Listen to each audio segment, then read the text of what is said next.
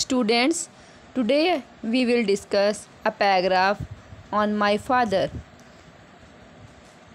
Dash is my father. Here you will write your father's name and in second sentence his age. He is 40 or 50 or 45 years old. He is a businessman. You can change businessman according to your father's profession you can write he is a doctor he is a worker. He has a shop in our local market. My father is very simple man. He lives a simple life. My father loves me a lot. He works very hard for my study.